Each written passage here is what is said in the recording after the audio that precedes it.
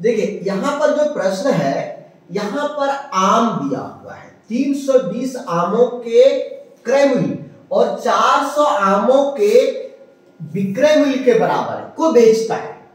तो यहाँ पर 320 आम आपका क्रय मूल्य हो गया। इसी क्रय मूल्य पर, इसी क्रय मूल्य पर 400 आम को बेचा जा रहा है मतलब ये विक्रय हुआ। आपको क्या करना सीधा सा आपको क्या करना है? इसको कैंसिल कर देना है। इसको कैंसिल कर दीजिए। इसको आप विक्रय मूल्य बना दीजिए।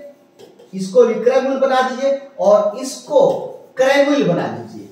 चेंज कर देना है, बदल देना है। क्रय मूल्य को विक्रय मूल्य विक्रय मूल्य को क्रय मूल्य। अब देखिए, चार सौ रुपए क्रय मूल्य है, तीन सौ, बीस रुपए विक्रय मूल्य है। तो यहाँ पर आपका हानि हानि हो जा रहा है अस्सी रुपए हानि प्रतिशत निकालने के लिए हानि बटे क्रय मूल्य गुने सौ गुने सौ।